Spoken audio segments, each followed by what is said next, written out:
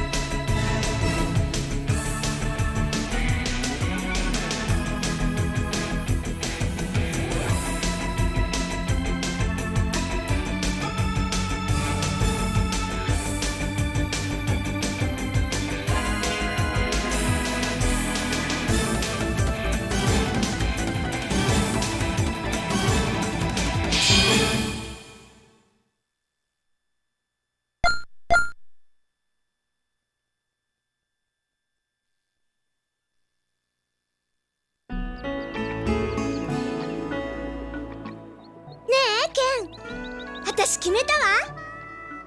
え？大きくなったらケン私のお婿さんにしてあげる。え？今なんて言った？ケンもう一度だけ言ってあげるけど今度聞き逃したらあんた死ぬまで後悔することになるわよ。いい？ケンあんたは心が優しくって健康で笑顔の可愛いそりゃあもう申し分のない赤毛の美人と将来結婚することに決まったの。ケン？私のお婿さんにしてあげる。どう？どうって言われてももう決めちゃったんだろ？ケン私あなたを一生守ってあげる。一番大切にしてあげる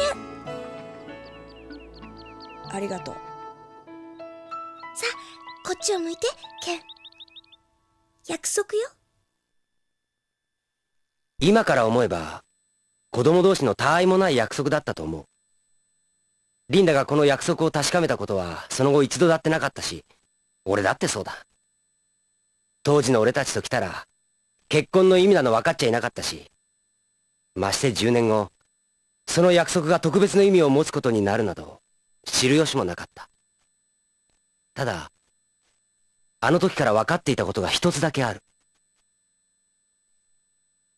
結局のところ、俺はあの赤毛のじゃじゃ馬が好きなんだ。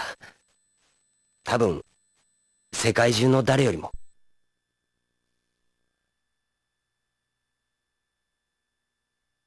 リンダ Q